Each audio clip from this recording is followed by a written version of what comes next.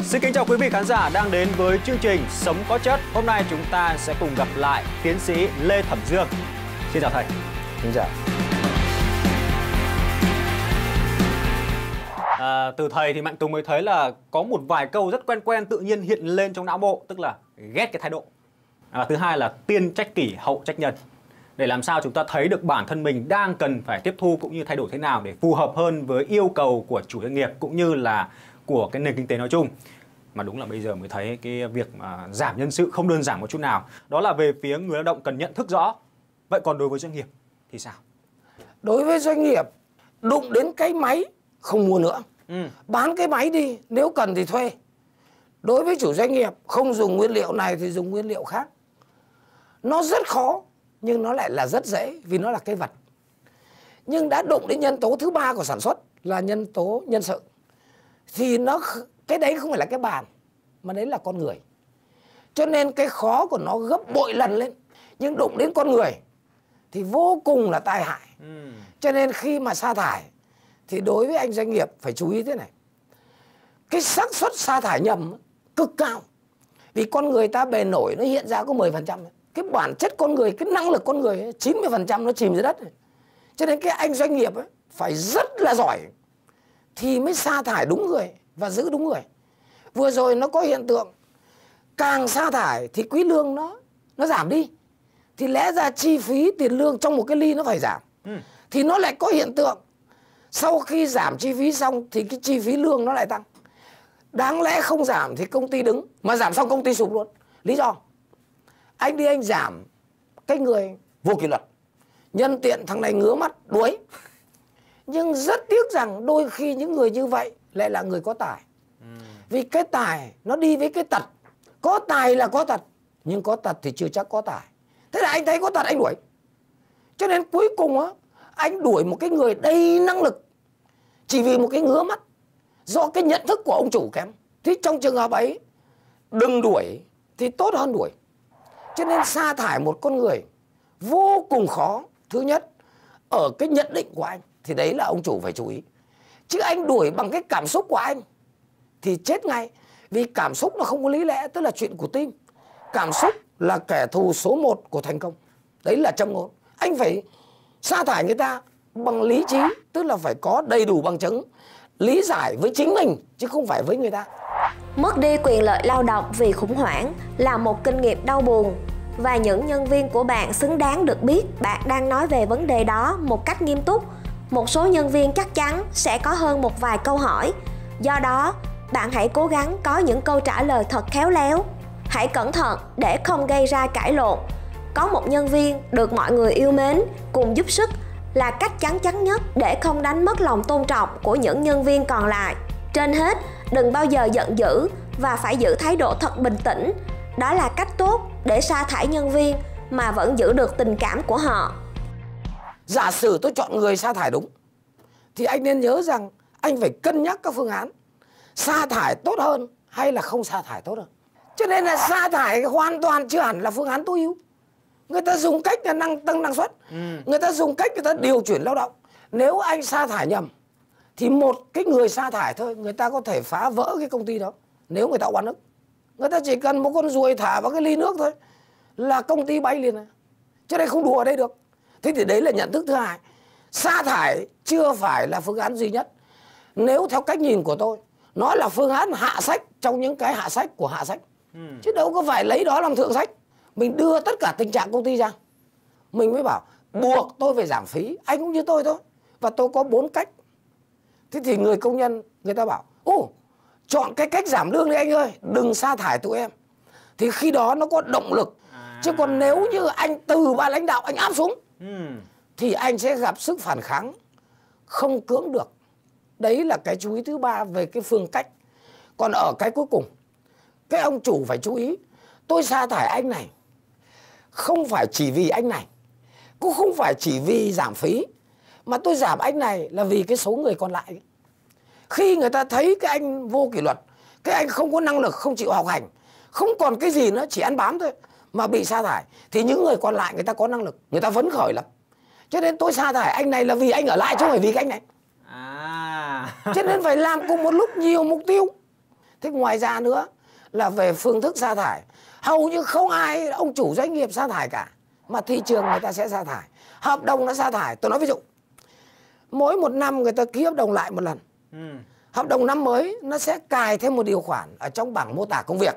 Đó là năm tới chúng ta nhập thiết bị thì người lao động phải làm thêm được cái phần mềm. À vì phần mềm này mới đưa vào. Thế thì cái anh lao động ấy không chịu học hành. Nhìn thấy cái phần mềm ấy là thua đây À. dạ thưa em chịu thôi em không dám làm.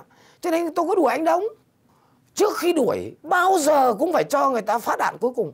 Tức là cho người ta một cơ hội người ta tự đào tạo lên để người ta nâng năng lực lên. Thế thì tôi chả sa thải nữa. Cho nên nó đưa đến một vấn đề là sa thải hơn hay là giữ anh ta lại đào tạo lại hơn. Bởi vì anh năng lực bị kém ở phần kiến thức. Nhưng cái anh ấy thái độ rất là tốt. Bây giờ anh sa thải người ta. Anh nhận người khác về trình độ rất tốt. Nhưng cái thái độ xin lỗi anh lại rất mất dạy. Cho nên đào tạo cái anh thiếu kiến thức hay là nhận thằng kiến thức mà lại không thái độ là những cái cần phải rất cân nhắc, là ông chủ phải cân nhắc điều đó. Và cuối cùng trong sa thải, bằng mọi giá phải giữ lại cái danh dự cho người ta. Song phẳng, rõ ràng, không nói dối, rất tôn trọng người ta và luôn luôn phải để ở thế. Người ta bỏ mình đi chứ không phải tôi đuổi anh đi. Đấy, tất cả những cái đó ông chủ phải chú ý.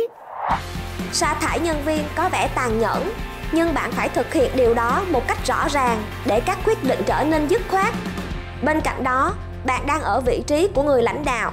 Và điều quan trọng là bạn phải chịu trách nhiệm khi sa thải nhân viên. Hãy thừa nhận rằng công ty đang gặp khó khăn. Việc sa thải là để nó hoạt động hiệu quả hơn. Phải nói là nghe thầy Lê Thẩm Dương nói về nhân sự và riêng cái khoản về giảm nhân sự thôi là toát hết cả mồ hôi, theo đúng nghĩa đen. Bởi vì sao ấy? Chúng ta đôi khi ấy, nghĩ cái từ nhân sự hay là sa thải hay là cắt giảm ấy nó đơn giản quá. Nhưng mà câu chuyện nó không đơn giản đâu như vậy. Đặc biệt là bây giờ ấy từ chia sẻ của thầy Lê Thẩm Dương chúng ta mới có những cái câu trả lời dành cho nhiều khúc mắc liên quan tới vấn đề là cắt giảm nhân sự cắt thế nào và có nên cắt hay không. Thì vừa nãy thầy có nói về câu chuyện là con ruồi thả vào nước. Thì bây giờ lại có một cái vấn đề nảy sinh mà nhiều doanh nghiệp cũng đang phải đối mặt. Đó là có những nhân sự sau khi họ sa thải họ sẽ lĩnh những cái rủi ro. Nếu như nhân sự đó có cái sự bất mãn hoặc là có tư tưởng phá hoại thì bây giờ theo thầy làm thế nào mà để mình triệt phá được cái nỗi lo này? Các chủ doanh nghiệp trên thế giới người ta gặp nhiều rồi. Ừ. cho nên để hạn chế cái rủi ro đó thậm chí chống luôn ấy, thì nó liên quan tới yếu tố kỹ thuật sa thải. Cái thứ nhất là cái lý do sa thải nó phải rất rõ ràng bằng chứng đàng hoàng. Ừ. chứ anh không có khơi khơi anh sa thải người ta được. Nếu sa thải vì năng lực kiến thức rồi xong. Anh không làm được cái phần việc này.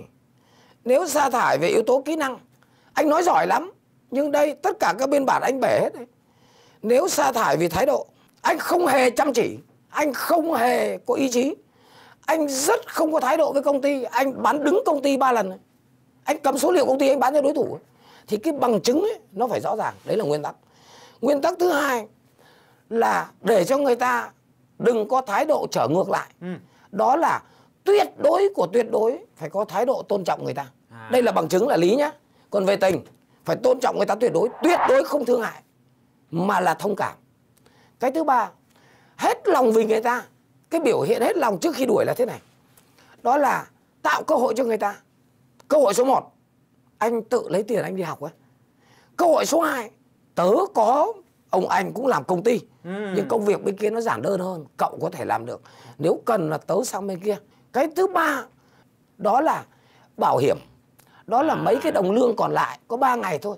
Tuyệt đối của tuyệt đối đừng có xí sớn vào đó. Vừa rồi dính hết cả. Đúng chưa nào? Về lý thế về tình thế. Sau đó yếu tố thứ tư phải đảm bảo chắc chắn rằng yếu tố pháp lý doanh nghiệp không có vi phạm. Cho nên trước khi người ta sa thải thì đừng tiếc tiền tư vấn luật pháp phải đảm bảo chắc chắn rằng cái việc sa thải này nó đúng luật lao động. Nếu không nó sẽ đại họa sau 10 năm chứ không phải là chỉ có một năm đâu. Lúc ấy người ta thấy sa thải là đúng. Nhưng người ta ra một cái thì người ta thấy chú người ta nói bạn người ta nói luật nó nói thì người ta sẽ làm ngược lại. Chưa kể là ức chế về tâm hồn. Kể cả lý lẽ anh cũng chết chứ không phải chỉ có cái việc người ta bất mãn đâu. Đấy và cái cuối cùng ấy, trong cái sa thải ấy thì tuyệt đối anh đừng dùng cái Mr. White của anh. Đừng dùng cái quyền ông chủ của anh. Mà ở đây đó là do khối lượng công việc, do thị trường, nó không dùng anh được nữa. Đó chính là cái việc anh không đạt doanh số. Cho nên anh đi chứ, có phải tôi đủ hành động ví dụ thế. Thế thì những cái đó phải biệt thật chặt. Thì lúc đó cái người lao động người ta nhận thức được. Thì không có cái lý gì mà người ta lại đi người ta quay trở lại người ta phá hoại chứ bây giờ anh sa thải một cái anh giám đốc kinh doanh. Bao nhiêu khách hàng của doanh nghiệp họ cầm hết. Họ không nhận thức được bởi vì chính ông chủ sai. Ừ. thì trong trường hợp ấy đừng trách người ta. Cái thái độ phản kháng lại nó sẽ có. Và bao nhiêu khách của công ty họ lượm sạch thì cái đó là đại họa. Chứ không phải tại cái người bị sa thải người ta xấu tính. Đừng nghĩ thế vì tình cảm nó là một một. Anh tốt với người ta anh tình nghĩa với người ta anh thuyết phục được người ta thì anh nhận lại tình cảm hoàn toàn đúng như vậy thì vừa rồi một loạt các sai lầm nó xảy ra thì làm sao mà lại không có đại họa Và thực tế cũng chứng minh có rất nhiều những vấn đề mà chúng ta đang phải đối mặt bởi vì sa thải nhầm cách, nhầm người và nhầm thời điểm, nhầm cả bối cảnh nữa. Hôm nay với chia sẻ của tiến sĩ Lê Thẩm Dương chúng ta cũng đã có được những cái nội dung rất chất về việc đó là đối diện với cái việc cắt giảm nhân sự cả về phía người lao động và người sử dụng lao động. Cảm ơn thầy đã tham gia cùng chương trình. Khi bạn sa thải nhân viên, bạn đã tạo ra một thất bại lớn trong sự nghiệp của họ. Như vậy, bạn có nghĩa vụ giúp đỡ các nhân viên phải ra đi. Tìm việc trong thời gian này có thể là điều khó khăn. Đó là lý do tại sao một số công ty tư vấn và cung cấp việc làm sẵn sàng giúp đỡ. Với tư cách là một nhà quản lý, bạn có thể cung cấp các tài liệu tham khảo, viết một lá thư giới thiệu và thực hiện các thỏa thuận với nhà môi giới lao động